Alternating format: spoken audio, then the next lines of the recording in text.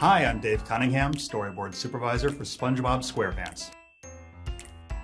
And this is how you draw SpongeBob in a few simple steps. First, we'll start with the eyes. We have one eye in front, one eye tucked a little behind. The uh, nose, which is a bit like a pickle sticking out. Put the cheek in, like a C. The upper lip. The mouth, you need two teeth. And a tongue. Eyes in there black in the center, three eyelashes on either eye, the bottom lip, which is like a soft W, like that. Well, now that we have his main uh, facial features, we'll do the shape around them. Next, we'll draw the uh, big circle, little circle, little circle, big circle, little circle, big circle.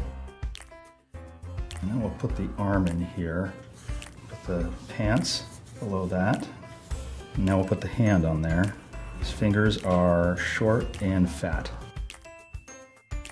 We want to go straight down from the eyes, and that's where we want to put SpongeBob's tie. Then you put the rest of the tie below that. And the belt is just like black rectangles, one on either side, like this. And then one goes behind the tie, like this.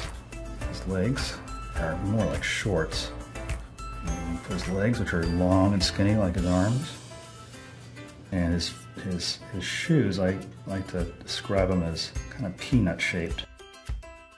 Put in the socks, which are three lines right in the middle. One, two, three. And that's how you draw SpongeBob.